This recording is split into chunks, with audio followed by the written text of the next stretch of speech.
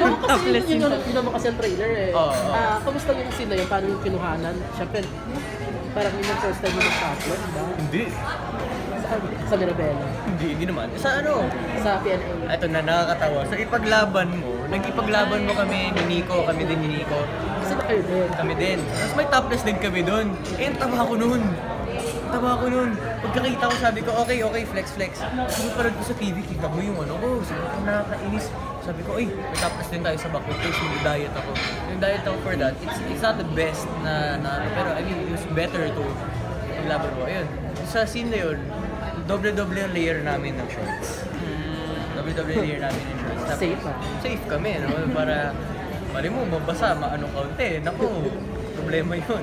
Okay, awkward kasi may mga girls din sa scene. May Hindi girl naman- Hindi naman kami insecure, pero... Hindi. Okay. Ah, ayun. Paano nag-prepare? Wala, sinabihan lang kami. Ginawa pa, umuulan nun. Umuulan nun. Product of gym ba yun? And diet, yung bodybuilder? Yes. Was it hard to do a musical since ah, may mga kanta, may mga part na kumakanta kayo? Na mahirap lang siya i-memorize.